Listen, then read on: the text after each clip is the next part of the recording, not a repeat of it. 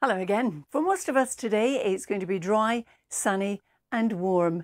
And in fact, as we go through this week, if anything, is going to turn warmer and also more humid from the middle of the week, not just by day, but also by night. There'll be plenty sunshine, but there is some mist and fog patches to clear, first of all, especially first thing in the morning. High pressure is firmly in charge of our weather at the moment. We're pulling up this warm continental air, but we also have a weak weather front draped across the north of Scotland. It's been with us this weekend. It's weakening today, but you could still see the odd bit of drizzle coming out of it in Orkney, where it's also going to be breezy in the northwest and also the south. But for much of England, Wales, Northern Ireland, and Scotland, dry, sunny, and warm sums it up. Temperatures ranging from 18 in Stornoway, 27 in Liverpool to about 29 as we push down to the southeast, possibly 30.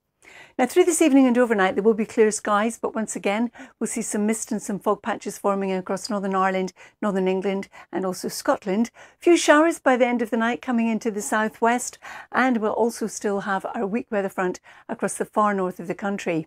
Now, as we head on into Tuesday, you can see the showers in the southwest, they will clear away. High pressure still firmly in charge. Our weak weather front is really dying in situ, so it's going to break up continuously through the course of the day. And what you'll find is there'll be bright spells of sunny intervals coming through.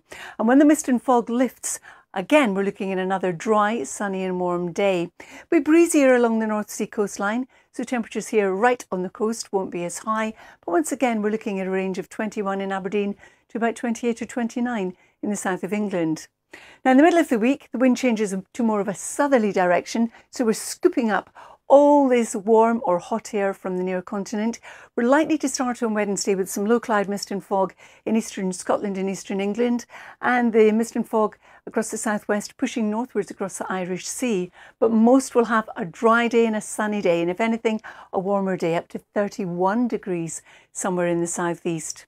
Then beyond that, into Thursday, Friday, Saturday, and Sunday, we still remain fairly settled, still a lot of dry and sunny weather but it's starting to break down at the weekend from the Atlantic.